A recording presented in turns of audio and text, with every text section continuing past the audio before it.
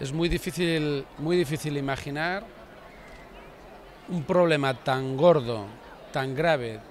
tan importante, que además puede tener solución, que además merece que se intente la solución. Difícil imaginar un problema de esta naturaleza tan claro, tan evidente, y al mismo tiempo difícil comprobar y grave comprobar el pasotismo de Cospedal y todo el gobierno de Castilla-La Mancha. Vuelvo a reclamar, y lo haré en Puerto Llano, y lo haré en nombre de muchísima gente que no lo puede entender, un giro, un cambio en la política energética del gobierno. Una simple palabra, algo que no ocupe ni un párrafo en el boletín oficial del Estado y en el boletín de Castilla-La Mancha puede hacer que cientos y cientos de familias no solo no se vayan al paro, sino que además aseguren el futuro y el esplendor de una zona de esta región como es Puerto Llano, que ha garantizado una parte importante de nuestro Producto Interior Bruto.